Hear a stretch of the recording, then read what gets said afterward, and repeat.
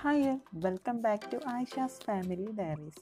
ഇന്നത്തേത് പന്നിയാരം റെസിപ്പിയാണ്. നമ്മുടെ ബാക്കി വന്ന ദോശമാവ് കൊണ്ടുണ്ടാക്കുന്ന ഒരു അടിപൊളി ബ്രേക്ക്ഫാസ്റ്റ് ആണ്.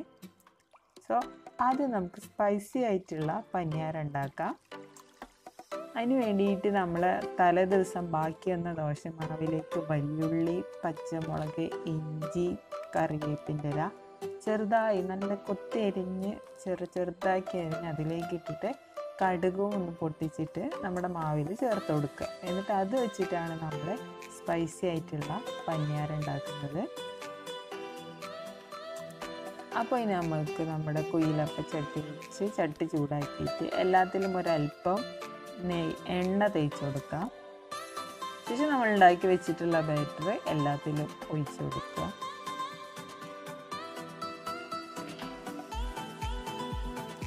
വളരെ എളുപ്പത്തിൽ നമുക്ക് പെട്ടെന്ന് തന്നെ ഉണ്ടാക്കിയെടുക്കാൻ പറ്റിയ റെസിപ്പിയാണിത് ഇനി നം എല്ലാം ഒഴിച്ച ശേഷം ഒരു അഞ്ച് മിനിറ്റ് നമുക്കൊന്ന് മൂടി വെക്കാം. അതിന്റെ മുകൾ ഭാഗമൊക്കെ നല്ലോണം വെച്ച് കിട്ടാൻ വേണ്ടിയിട്ട്.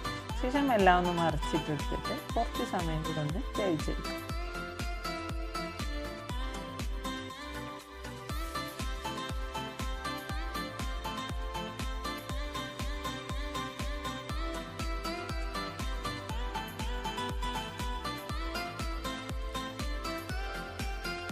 ഇപ്പോൾ നമ്മുടെ സ്പൈസി ആയിട്ടുള്ള പനിയാരം തയ്യാറായിട്ടുണ്ട്. ഇതിന്റെ കൂടെ നിങ്ങൾക്ക് വേണമെങ്കിൽ നമ്മുടെ സ്പൈസി തേങ്ങ ചട്നി ഒക്കെ കൂട്ടി കഴിക്കാം.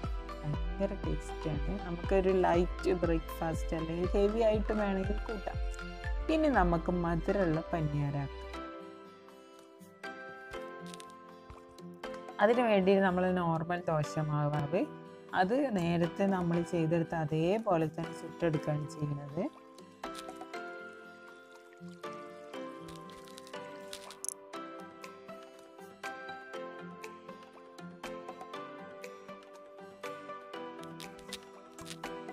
ഓക്കെ അപ്പം നമ്മുടെ സ്വീറ്റ് ആയിട്ടുള്ള പനിയാരം തയ്യാറായിട്ടുണ്ട്.